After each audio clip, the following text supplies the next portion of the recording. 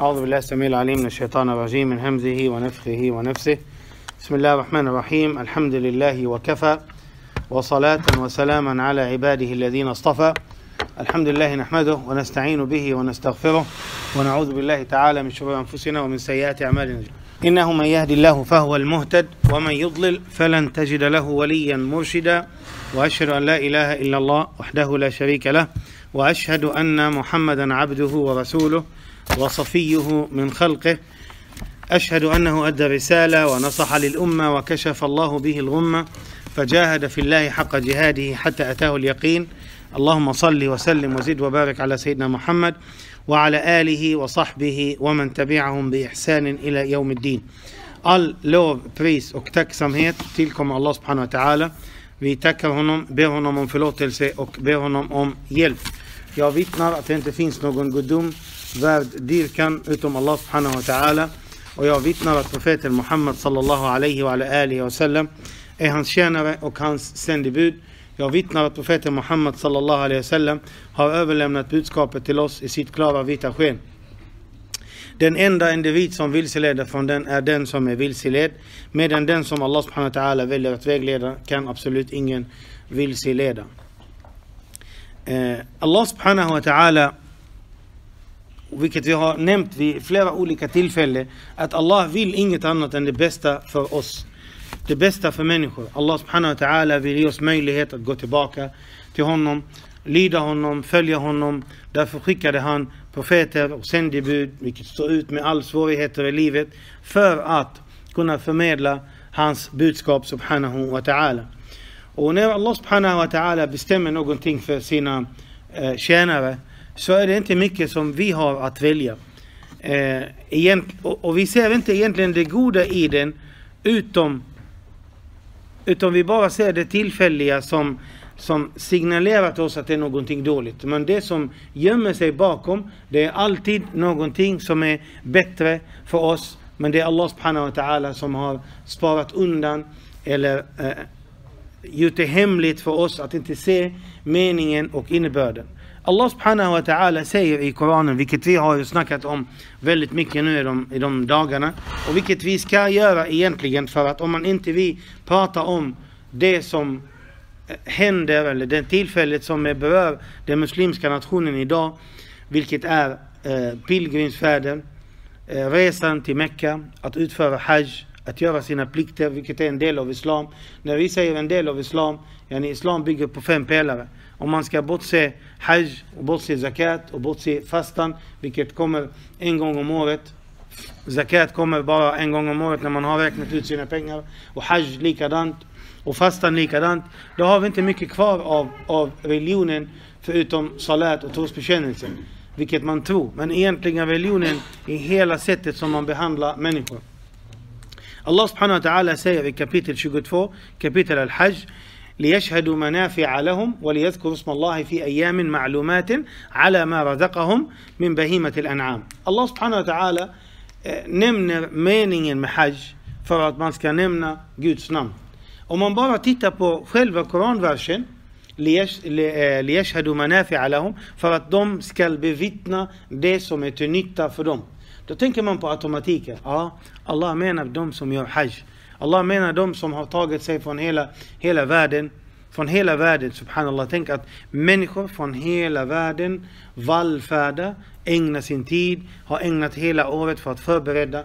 Möjligt oss, möj, möjligtvis är det för oss här i Sverige, man förbereder sig en vecka, tio dagar innan man packar sin väska.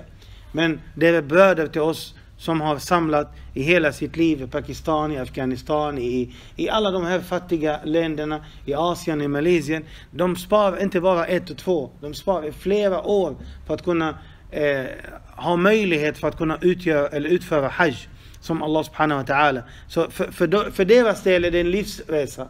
För vår del kanske en resa som man planerar en månad eller två månader innan. Alla människor åker iväg till ett och samma ställe. Alla människor gör en och samma handling. Alla människor gör en och samma sak. Och det är vallfärda för Allah subhanahu wa ta'ala. Och detta är kallelsen av profeten Ibrahim alayhi salam. När Allah subhanahu wa ta'ala en gång i tiden sa till Ibrahim alayhi salam och azzim fil nasi bil hajji ya'tuka bijala. Kalla människorna till hajj, då kommer de att komma gåendes. Ibrahim hade det bekymret att hur ska min röst nå människorna? Han befann sig i Mecka, det var tomt. Och vi känner till när Ibrahim alayhi salam och historien, om man eh, läser Koranen så förstår man att Ibrahim alayhi salam blir beordrad av Allah subhanahu wa ta'ala att ta sin son och ta sin fru och lämna dem på ett ställe, ett ödelagt mark, inget vatten, inga växter, inga djur, inga människor, ingenting överhuvudtaget. Det enda som fanns det är jord eller sten och det är luft. Något annat fanns det inte. Och Allah subhanahu wa ta'ala eh, tog, eller lät Ibrahim ta sin son, vilket han har väntat på hur länge som helst. Och den här sonen, precis som ni säger att jag har min son med mig, någon annan som har sin son med sig. Man förstår innebörden av barn. När ett barn är som ett litet hjälplöst barn, då är det ett litet barn. Men sen när ungen börjar springa runt omkring en och vara till hjälp, när ungen kommer upp och börjar hjälpa sin egen far, så blir Ibrahim salam beordrad blir Ibrahim beordrad att slakta eller offra sin egen son. Han fick den i drömmen. Och där kom inte dilemman, många ser det som ett problem. Där kommer det stora provet från Allah subhanahu wa ta'ala. Det som profeterna ser i dröm, det är verklighet. Det är verklighet. Det är ingenting som det är upp till dem. Om du ser att du eh, gör någonting i drömmen, det är upp till dig om du gör det eller inte. Men det här är profeterna. Så vad är det hans son sa till honom? Det är bara för att kunna komma in i, i Hajj-berättelsen. Vad är det hans son sa till honom? قال يا أبت افعل ما تؤمر. Åh far, åh min far, åh pappa. Gör det som Allah subhanahu wa ta'ala beordrar dig. Ja, ni tänk vem som helst i hela världen.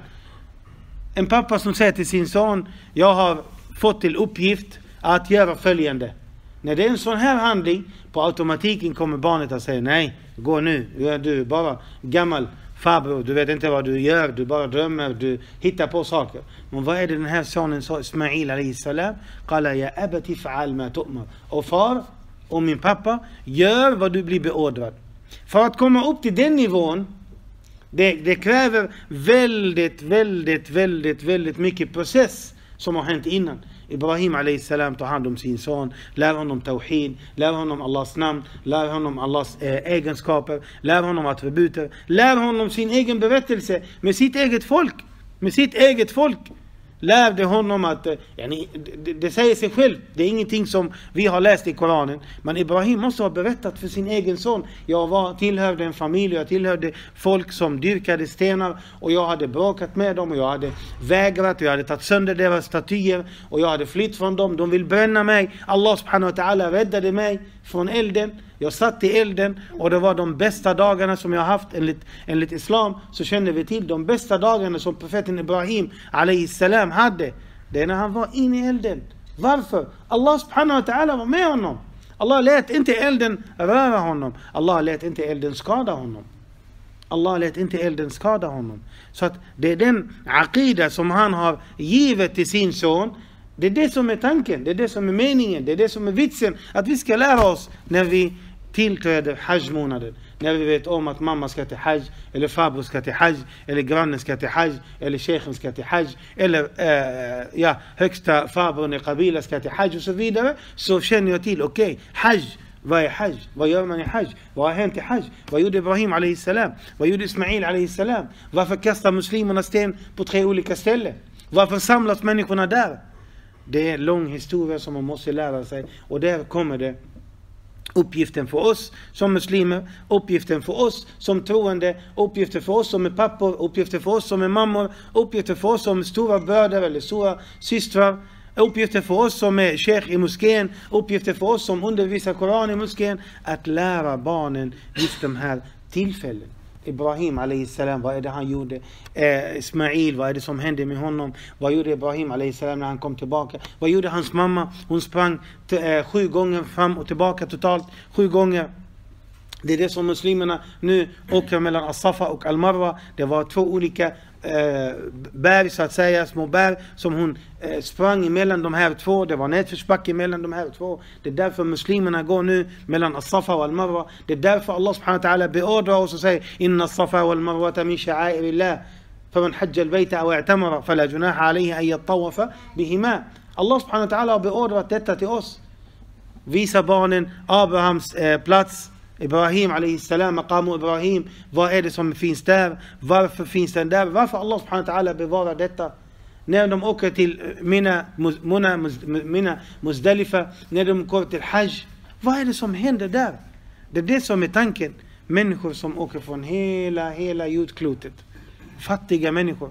Wallahi, de som har varit där, eller de som har jobbat där, förstår precis vad jag snackar om. Wallahi, jag har sett människor där som har åkt från Asien. Allah subhanahu wa ta'ala är mitt vittne. Jag tror inte de hade en limpa bröd på, på en hel vecka att äta. Jag har sett dem. Wallahi, de sover på gatorna. Wallahi, de sover på gatorna bokstavligen. Sover på gatorna. Subhanallah. De åker dit bara för att göra den här hajjresan, för att kunna utföra sina plikter. Allah subhanahu wa ta'ala vill att vi ska göra det. Profeten sallallahu alaihi wasallam han har lagt regler hur, på vilket sätt vi ska göra det. Han säger sallallahu alaihi wasallam, man istata'a ilayhi sabila. Här måste vi lära oss, den som kan ta sig dit. Ta sig dit är inte bara att kunna ha flygbiljetten dit, sen är det färdigt, khalas. Allah tar hand om mig. Nej, ta sig dit genom att kunna åka dit, lämna sin familj här, att kunna ha pengar, att de ska kunna överleva. Frun ska ha, betala hyran, frun ska kunna ha pengar för att klara sig. Barnen ska ha tillgång till allt som de behöver. Och nu snackar vi om flygplan som åker på, på en dag så är man hemma. Innan så åker man på flera månader. Så det är därför man istata'a ilayhi sabila, den som kan ta sig dit. Så det är det som är tanken. Vad är det som händer under Arafah-dagen? Vilket inträffar inshallah nu på måndag. Vad är det som händer? Vad är det profeten Muhammed sallam har snackat om det? Det är det som är tanken mina dyrbara syskon. Hajj är tillfälle för att visa alla människor. Tillfälle för alla människor som börjar skolan nu på måndag, inshallah, att berätta, visa, eh, informera sina, sina medmänniskor i skolan, på arbetsplatsen, i gatorna, i biblioteket, på, oavsett var man befinner sig. Varför människorna samlas där. Säg, det är den största samlingen av människor. Största samlingen av människor. Det finns ingen annan samling på hela jordklotet där alla människor samlar, vänder sig dit. Till ett och samma ställe. Har exakt samma kläder. Ingen skillnad. Ingen skillnad. Wallahi många shayukh man har sett, subhanallah. Bland annat Sheikh Mohammed Hassan och Sheikh bin Baz. Allah subhanahu wa ta'ala eh, var barmhärtig över hans själ. Jag har sett Sheikh bin Baz utan sina vanliga kläder. Man känner inte igen han.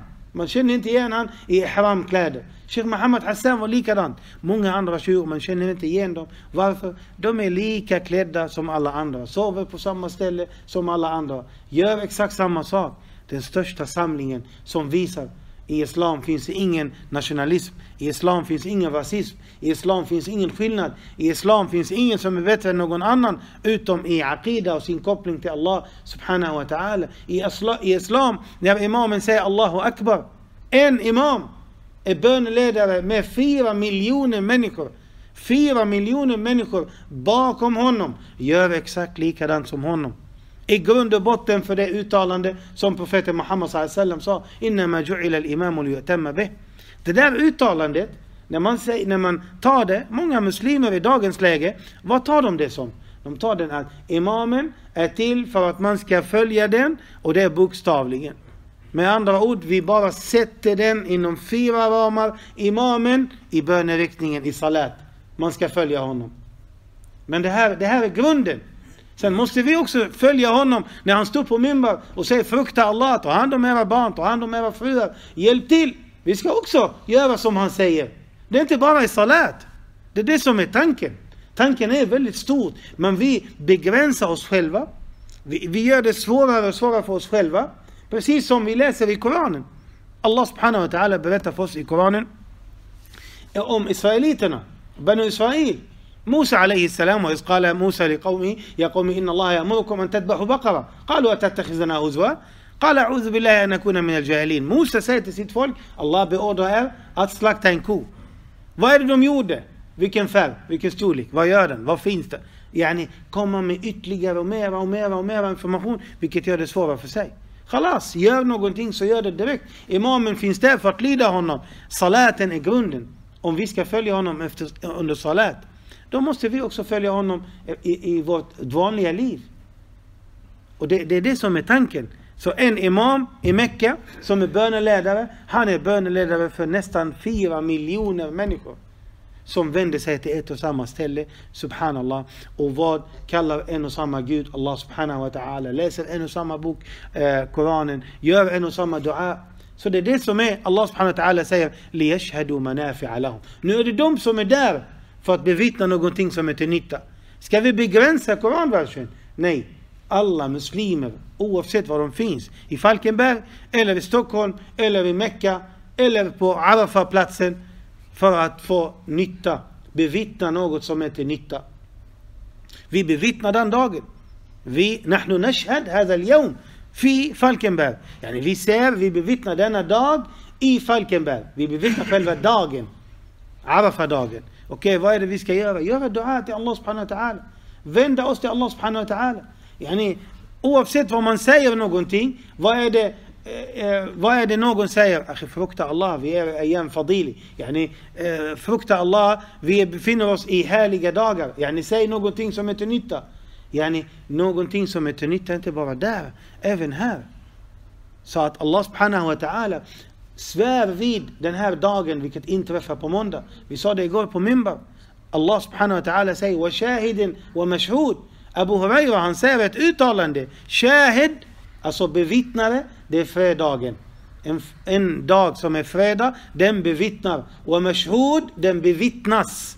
Den ena som bevittnar, den andra bevittnas.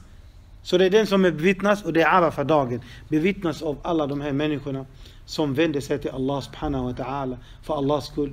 Allah blir glad över att se människorna samlas på ett och samma ställe, samlas på en och samma samling, gör dua, subhanallah. Den bästa dua som man kan göra dagtid, det är under Arafa-dagen. Den bästa dua som man, ska, man kan göra under nattid, det är Laylatul Qadr. Den bästa eh, dag på hela året, den bästa dag på hela året allmänt, det är Arafa-dagen. Den bästa dag på hela veckan, det är fredagen. Så den bästa månaden på alla månader, det är Ramadan. Den bästa platsen på hela platserna, det är Mecka. Den bästa människan av alla människor, profeten Muhammad sallallahu alaihi wasallam. Så att man måste lära sig att hantera de här dagarna. Vi talade igår, och väldigt kort, det var för att vi gick in i ett annat ämne och det var barnuppfostran och, och, och, och ansvaret som vilar över våra axlar. Den här Arafa-dagen som Allah subhanahu wa ta'ala säger Al-Yawma akmaltu lakum dinakum. Den dag som vi kallar för Yawmul Kamal Den, den fullbordade dagen, den kompletta dagen. Dagen då Allah subhanahu wa ta'ala kompletterade religionen. Arafa-dagen, det, är den, det är den dag som Allah subhanahu wa ta'ala var nöjd med oss. Wa raditu lakum al-islam dina. Jag accepterar det. Jag är nöjd med Islam som en religion för er. وأتممت عليكم نعمتي يوم التمام Allah subhanahu wa ta'ala fullbordade eh, hans gåvor över oss.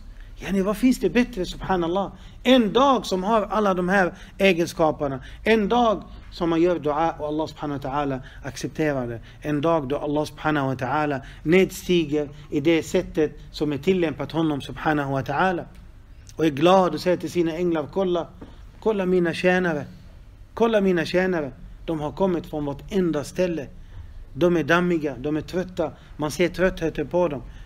De har kommit hit. Och så frågar han änglarna, hadisen är lång. Vad vill de? Vad fruktar de? Och han vet. Han är allvetande. Och han vet. Vad vill de? Vad fruktar de? Elden. Har de sett den? Nej, de har inte sett den. Men de har hört talas om den. Så säger Allah subhanahu wa ta'ala till änglarna, tänk om de hade sett den, då, då säger änglarna, då hade de fruktat den ännu mer. Vad är det de vill? Vad vill människorna? Ja, de har kommit hit.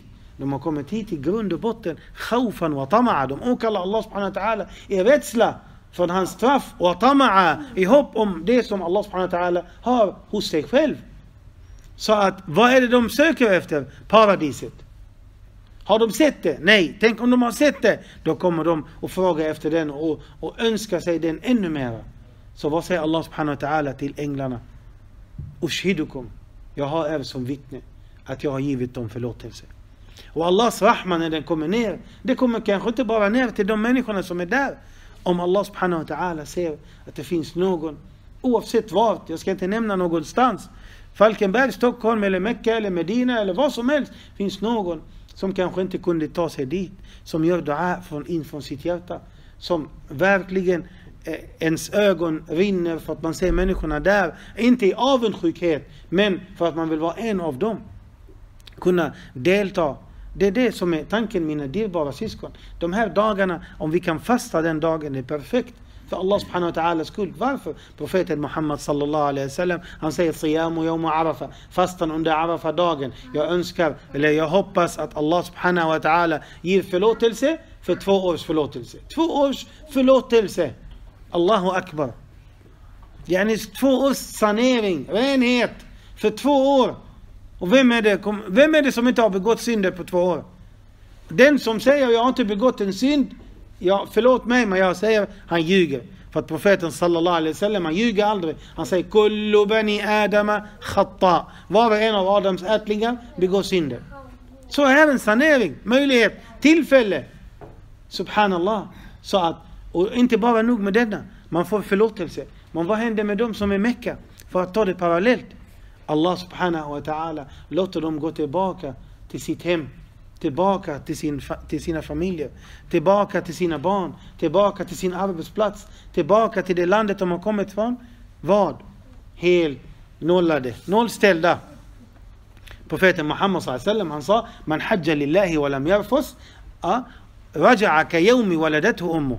Yani den som vallfärdar för Allah subhanahu wa ta'ala ut, utom att begå skamfulla handlingar, dåliga handlingar, kom återvända hem precis så som den dagen ens mamma hade fött en. Allahu akbar. Yani en bebis kom ut från mammas mage. Han är noll dagar gammal. Hur många synder har han? Ingenting. Om när man har varit i Hajj och kommit hem igen, då kommer man hem i samma tillstånd vad gäller synder. Med undantag, och jag säger bara med undantag och ta ett stort streck under undantaget. Om du har en skyldighet gentemot människor innan du har åkt på Hajj. Du har lurat eh, Hajj Ibrahim på hans cykel. Ja, då återstår den handlingen att lämna tillbaka hans cykel eller ersätta honom eller gå och söka tauba hos honom. Säg jag vill ha befrielse för den handlingen jag har gjort. Det. Allah subhanahu wa ta'ala ger förlåtelse för det som har med honom att göra.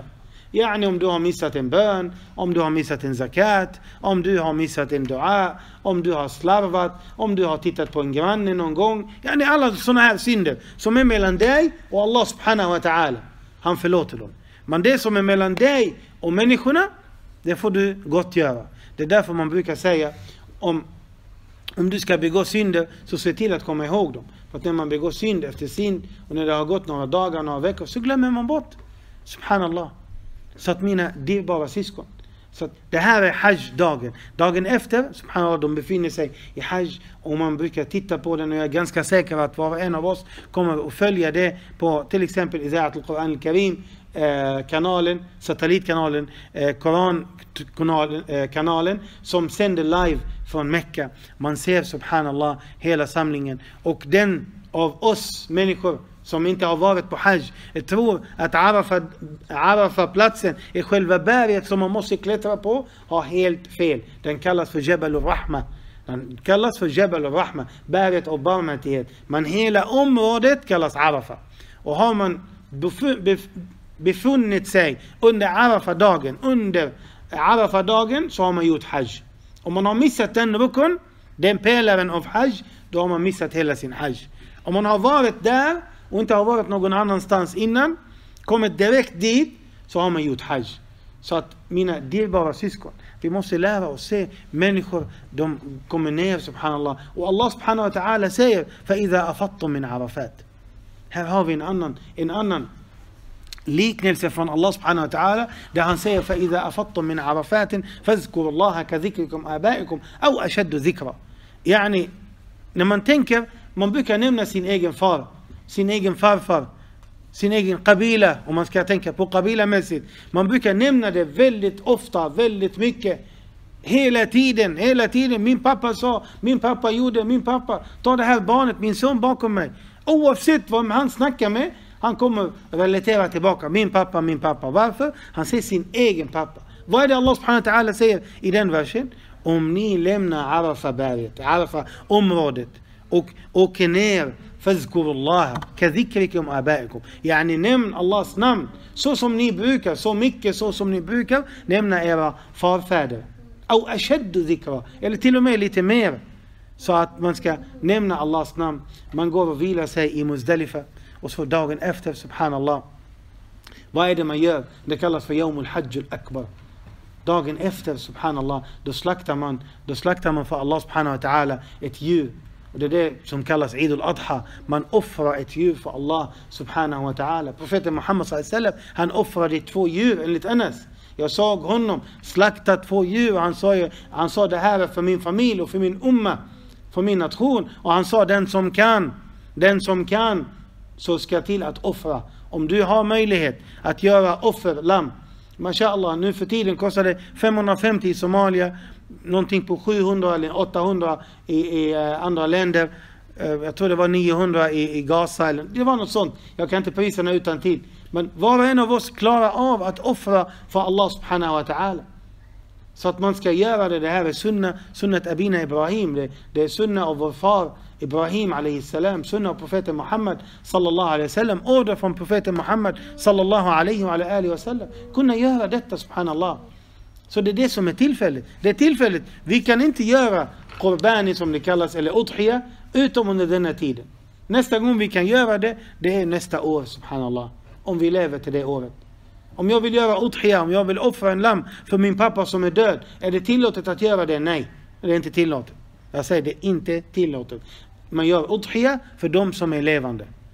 Det enda undantaget är om min pappa innan han hade dött, han hade sagt till mig Bilal, se till att slakta en lamm i Udhiya för min skull. Då utför man hans vilja.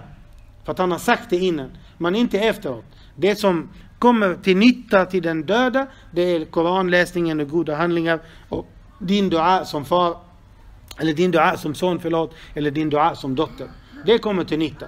Så att om man har möjlighet att offra för Allah subhanahu wa ta'ala. Och så vad är det man brukar göra sen efteråt? Kasta sten.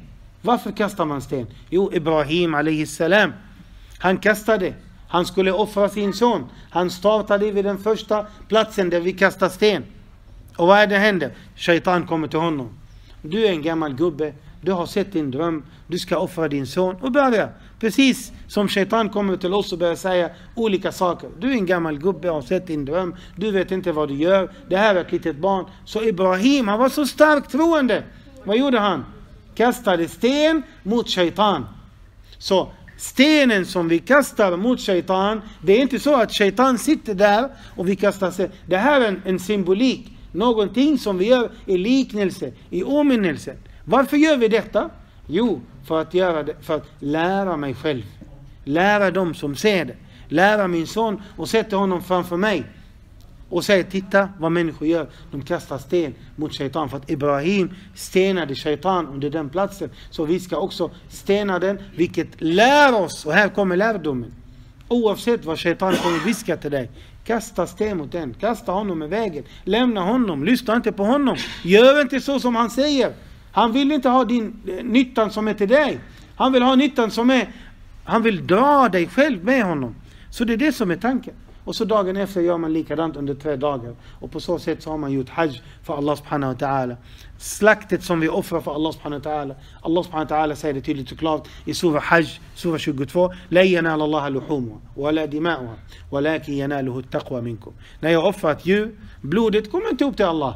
Köttet kommer inte upp till Allah. Det säger Allah tydligt och klart. Lejonäl, Allah kommer inte att få nytta av köttet av det offerdjuret. Och inte nytta av blodet. Men vad är det Allah subhanahu wa ta'ala får? Vår Guds fruktan. Han ser X av människor, han fruktar Allah.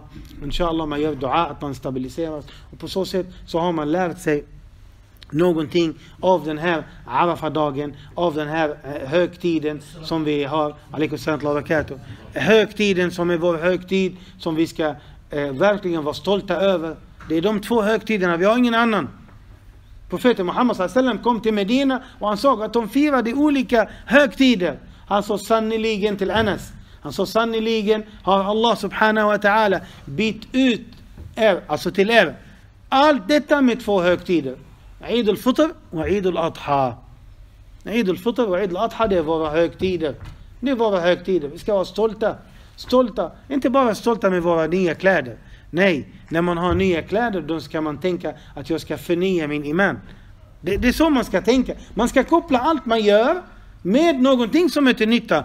Nya kläder, våra barn vill alltid ha nya kläder till Eid. Okej, okay, perfekt. Då ska man tänka på, mina barn ska ha nya kläder. Jag ska förnya min iman. Mina barn ska ha nya saker. Jag ska förnya min relation med Allah subhanahu wa ta'ala. Mina barn ska göra saker och ting som är till nytta. Jag ska också göra någonting som är till nytta för mig. Så det är det som är tanken. Så den här samlingen av människor som man ser, hela Kaaba, Mashallah, om man, nu, nu om man tittar på TV idag så kan man absolut inte få plats för nästan en pappersbit mellan två personer idag och imorgon på söndag.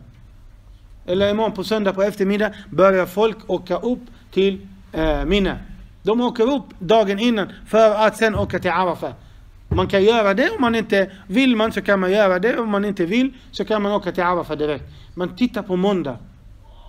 Kommer du se hela Mecka nästan tomt. Det finns få, alhamdulillah. Tawaf kommer alltid, aldrig att stanna. Den stannar bara vid fem salat. Ingen annan. Tawaf kommer att existera. Men du kommer titta på hela Haram. Den är tom. Var är alla människor? De har vänt sig till Arafah-området för att bevittna det som är till nytta för dem. Vi ber Allah subhanahu wa ta'ala att låta oss vara bland dem nästa år, att låta oss vara bland dem som är på Arafah nästa år. Vi ber Allah subhanahu wa ta'ala att acceptera från oss. Vi ber Allah subhanahu wa ta'ala att låta oss höra det nytta och följa den. Amin, amin, amin. Wa sallallahu ala nabina Muhammad wa ala alihi wa sahbihi ajma'in. جزاكم الله خير بارك الله فيكم وأحسن إليكم سامحوني على اللغة السويدية فقط لأنه رأيت هنا كله بحاجة للغة السويدية فحولت وأنا متأكد أنكم تعرفون السويدية فهذا لا يضر. جزاكم الله خير. بارك الله فيكم.